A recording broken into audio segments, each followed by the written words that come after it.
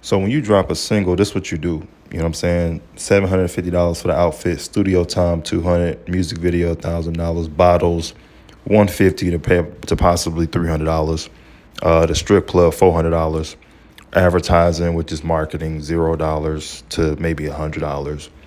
Press, possibly a hundred dollars to maybe uh, two hundred dollars at, at the at the least.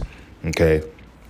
Um, this is what most artists do, and this is why most artists won't succeed. Um, your marketing needs to be.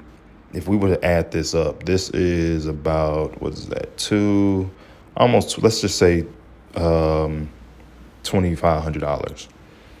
Um, a thousand dollars needs to be in marketing at least. At least.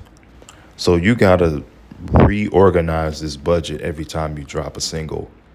If you don't, you're gonna just have the same results you you've been having. So, you know, if you're ready to reorganize this budget um, and do it the right way, shoot us a DM, say marketing, try something different. Peace.